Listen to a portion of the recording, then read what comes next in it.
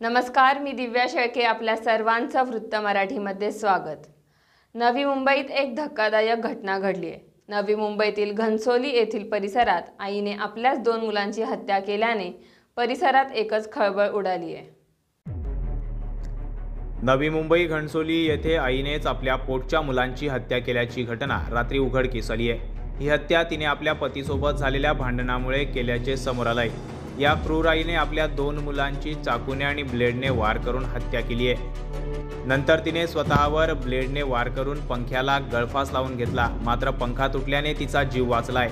पंखा तुटल्याचा आवाज ऐकून इमारतीतील बाकीचे लोक त्यांच्या घरी गेले असता त्यांनी चार वर्षाची मुलगी आणि एक वर्षाचा मुलगा रक्ताच्या थारोळ्यात पडलेले दिसले.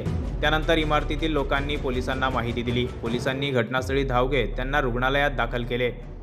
यावेळी डॉक्टरांनी मुलांना मृत घोषित केले तर आईला उपचारासाठी वाशी येथे महापालिका रुग्णालयात हलवण्यात आलंय. बत्तीस वर्षीय आरोपी आईचे नाव पुष्पा गुर्जर असून मुलगी दीपू गुर्जर आणि मुलगा राहुल गुर्जर अशी इतरांची नावे आहेत. आरोपी महिला पुष्पा गुर्जर यांच्या विरोधात रबाळे पोलीस ठाण्यात गुन्हा दाखल करण्यात आलाय.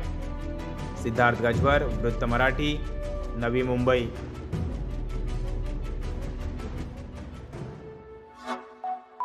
Like comment share and subscribe.